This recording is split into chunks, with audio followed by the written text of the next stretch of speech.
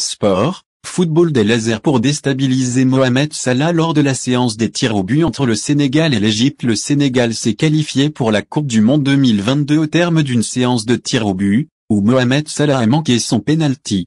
Coupe du Monde 2022, des lasers dans les yeux, un tir au but manqué, une sortie chahutée, Salah a vécu un calvaire. L'Égypte a subi la loi du Sénégal en barrage de la Coupe du Monde, comme en finale de la dernière camp. Une soirée cauchemardesque pour les pharaons en général et Mohamed Salah en particulier. Mohamed Salah a vécu un calvaire lors du barrage retour qualificatif à la Coupe du Monde 2022. Icon Sport Mohamed Salah a vécu un calvaire lors du barrage retour qualificatif à la Coupe du Monde 2022.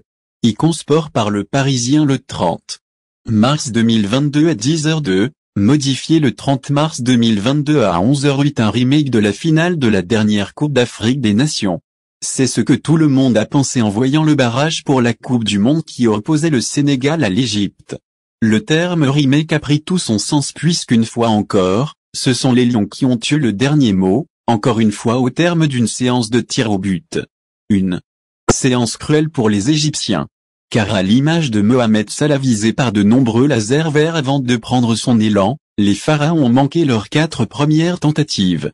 Impossible d'y survivre et comme un symbole, c'est Sadio Mané qui a inscrit le tir au but décisif en faveur du Sénégal.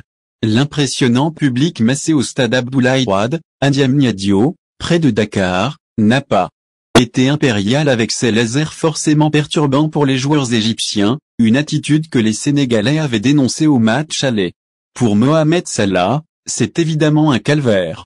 Une élimination en barrage de la Coupe du Monde qui fait donc suite à la finale perdue de la Coupe d'Afrique des Nations. Et pour ne rien arranger, même sa sortie du terrain aura été compliquée. Entre un supporter qui tente de l'approcher et qui a été écarté par le service de sécurité ou encore les jets de nombreux projectiles, il aura été chahuté jusqu'au bout.